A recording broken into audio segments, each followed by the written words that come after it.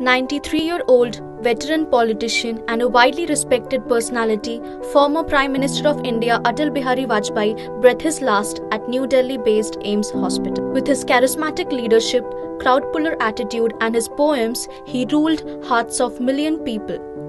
His philosophical thoughts, depicted in his poems, narrated social structure with a ray of light to rekindle the lamp of growth and prosperity.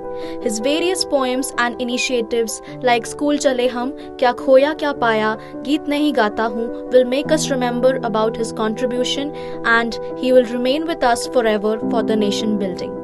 We, NP News 24, pray that his soul rests in peace, and with signing note, we tribute him by his following words, which prove that he was a true humanitarian and a very sensitive soul. O Lord, never lift me up to such a mighty height as to make me forget to embrace my fellow beings.